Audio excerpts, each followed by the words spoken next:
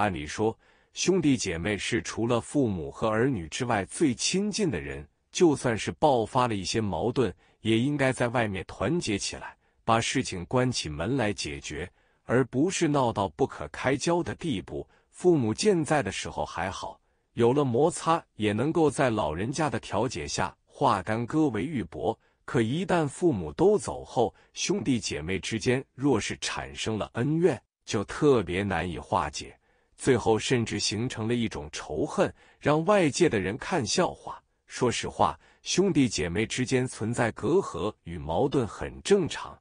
可如果因为这些就选择断交，从此不再来往了，属实是一个错误的决定。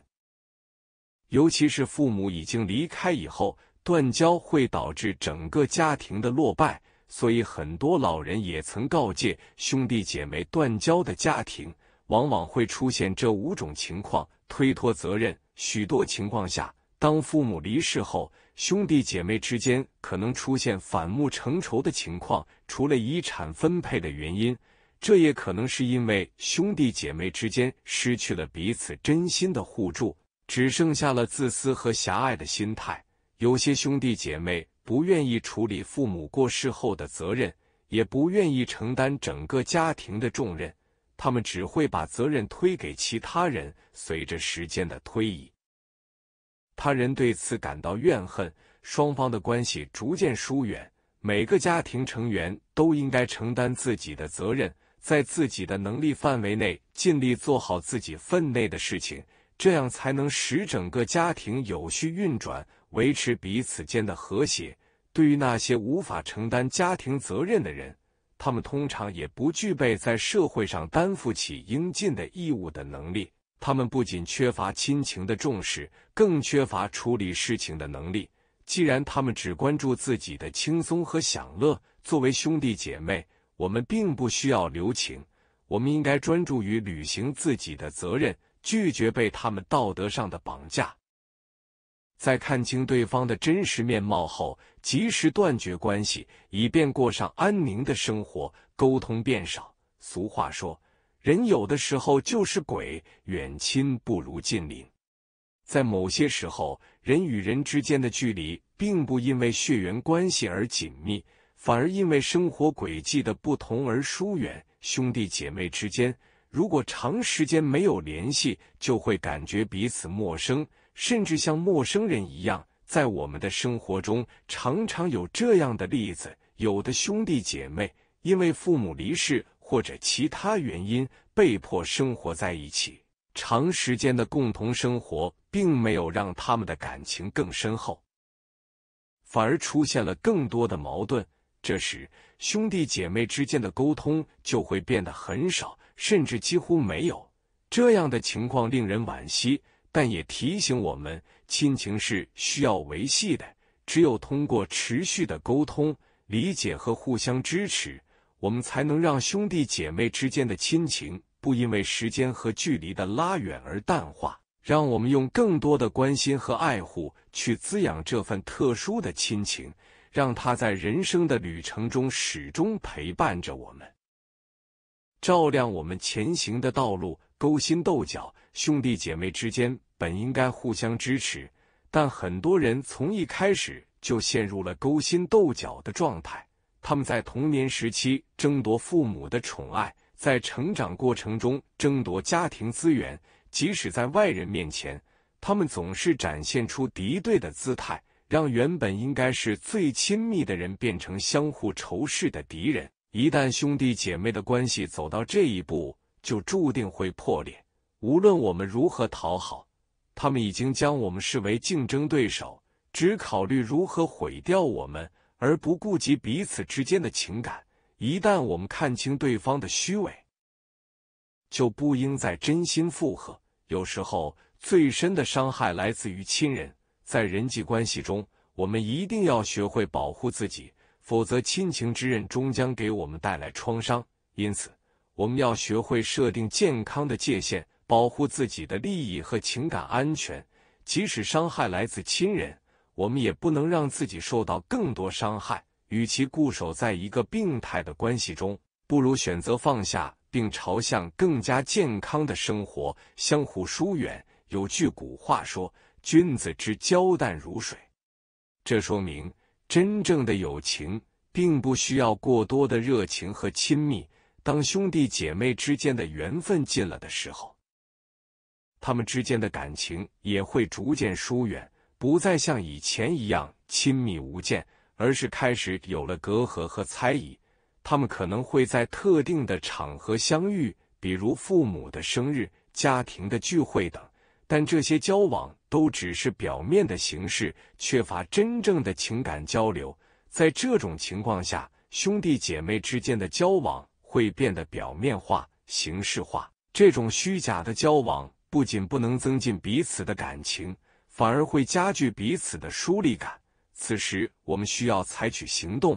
以维护兄弟姐妹之间的感情，避免走向彻底的分道扬镳、互相攀比。有句古话说：“物以类聚，人以群分。”人与人之间的交往，往往是因为相似的背景、兴趣和价值观而聚集在一起。当兄弟姐妹之间的缘分尽了的时候，他们的价值观和生活方式也会发生变化。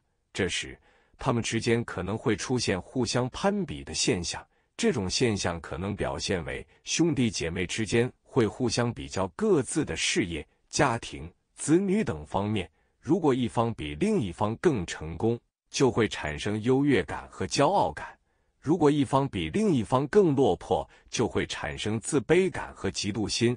这些攀比心理不仅会让兄弟姐妹之间的关系变得更加紧张。也会让彼此的生活变得更加疲惫。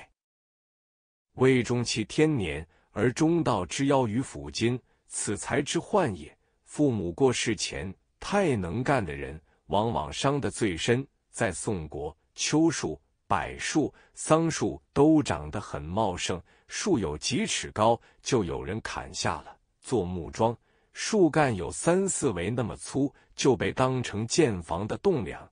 树干有七八围那么粗，就变成棺材板了。庄子感慨：这些树不能尽孝天年，随时可能夭折，这是因为树太有用了，引来了祸患。一片山头有很多的树，为什么有用的树反而一次次受伤呢？没用的树却能够逍遥。树就像兄弟姐妹一样，谁最能干，谁就多干。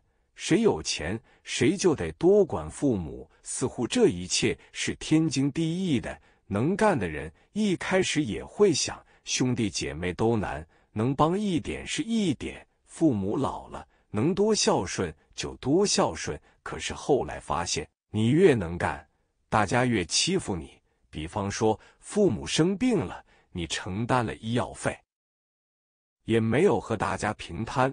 接着。父母第二次生病，大家认为还是你掏钱，因为你随时可以掏出来啊。更可怕的是，父母很偏心，反复向你要钱，然后一转手，钱就给了那个没用的败家子。一母生九子，连母十个样，兄弟姐妹参差不齐，有人能干，有人没用，还有人败家。当能干的人一次次帮助大家，却没有得到任何的回报。自然就心寒了。孝顺父母是天经地义的，但是帮助兄弟姐妹不是。因而把父母管到老之后，就不再去理会兄弟姐妹了。有用的人，总要独自远行，不再被没用的人拖累。安时而处顺，哀乐不能入也。古者谓是地之玄解。父母过世时，兄弟姐妹会难过。也觉得是一种解脱。老子过世的时候，很多人来悼念。有一个叫秦师的人，在灵堂哭了三声就离开了，行为显得有些另类。他说：“哭泣过于悲伤是违背生命自然的，该来的人会来，该走的人会走，人都有喜怒哀乐。古人把这些称为天然的解脱。是的。”生老病死是不能抗拒的，每个人的一生都要经历。如果我们过于悲伤，就是沉浸在过去的痛苦之中，不能自拔。违背了天意啊！能够看透生命的人，就会发现，父母过世了，是生命消亡，但也是病痛消亡。有的老人在过世之前，躺在床上七八年，走不动，说不清，昏昏沉沉，不知是睡着了还是醒着。有的老人完全不能动弹，任由别人搬来搬去，就像木偶一样，也没有了知觉。有的老人生病了，并且非常痛苦，头脑还是清醒的，子女在身边照顾，也不知道怎么办才好。还有一些老人病痛多年，儿女在照顾的过程中也疲惫不堪，时间长了，儿女也病倒了。老人过世，其实是从痛苦中解脱了。兄弟姐妹看到这一点，内心就释怀了。另一方面，一些家庭在老人病痛的过程中，因为照顾的问题闹得不可开交，谁都不希望父母连累自己，吵吵闹闹多年，掏钱出力都是难过的。父母走了，兄弟姐妹终于不再因为如何照顾而吵架，因此。自己觉得是一种解脱，怨恨大家庭到了极致，看到父母痛苦到了极致，以后家庭散了，兄弟姐妹的内心有那么一丝欣慰。天下没有不散的宴席，若是强留，也就是大家在一起品尝残羹剩汤，反而添加了几分怨气。太多的人只是陪你走一段路，不会陪你到永远。过了这段路，你会遇到新的人。也会去新的地方，不是所有的血脉之情都能撑过几代人，不是老了还要被亲情纠缠不清，不是一直生活的回忆里不必翻旧账。最好的余生，不过是但行好事，不负不欠。